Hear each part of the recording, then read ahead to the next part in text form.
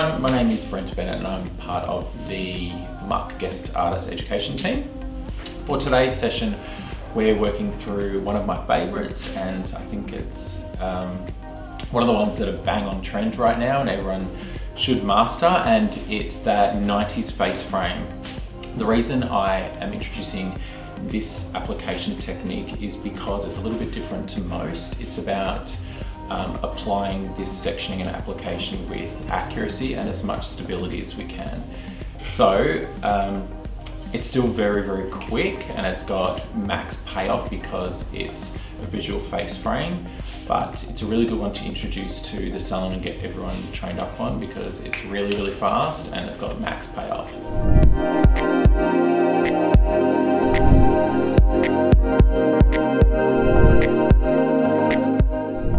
So this session is all about the 90s face frame. The reason that I gravitate towards this one, I like it the most, is because one, it's bang on trend and it's a technique or an end result a lot of people are talking about at the moment. The other reason I like it is because it's so easy. And because it's so easy, it means that we can spend a little bit more time on making sure that our formulation is bespoke to our client um, making sure that the section itself mirrors the haircut so we can complement the haircut as much as we can. And with the application method or the sectioning method that I've introduced, it's to keep this technique as simple as possible with maximum payoff. So I have gone in and pre-deposited my global tone and the formulation that I've used is one that uh, quite a number of people have asked for recently in the creative group, and that is a copper tone.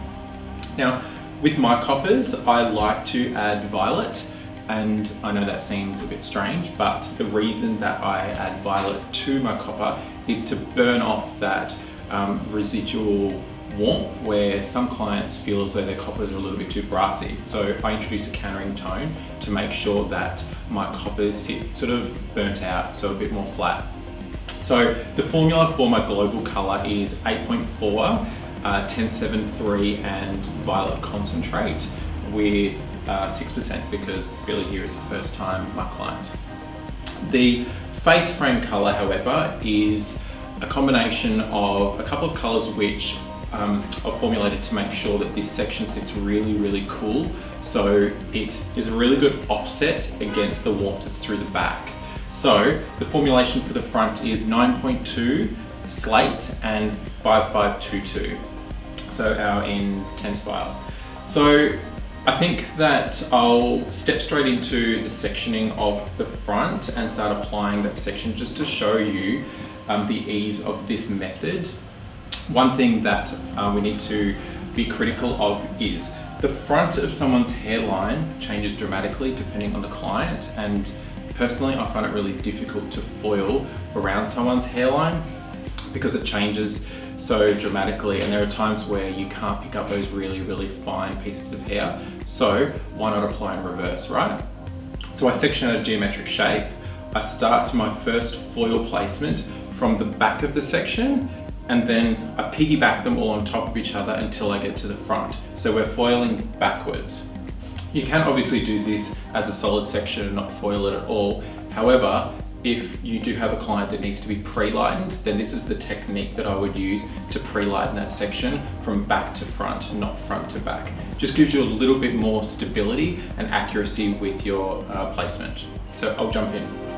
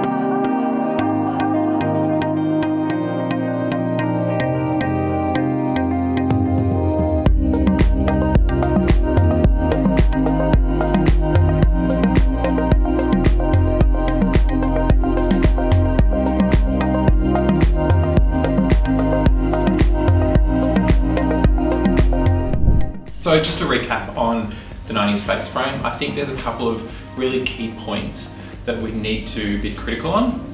One of them is the formula. So making sure that the colors that we choose within a 90s face frame, um, make sure that the front one does really contrast against the back because you want that money shot. You want to make sure that that front section does pop against the back section.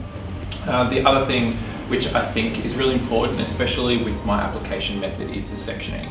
So I think um, with a different approach, so starting from back to front and making sure that you have that base point where you section out a geometric, a geometric shape so you can foil forward does give you a lot of stability whereas if you're going around um, the hairline of a client it can be really difficult at times. So this is done, I'm going to set this aside to process for 35 minutes and then we'll come back and take a look at this result.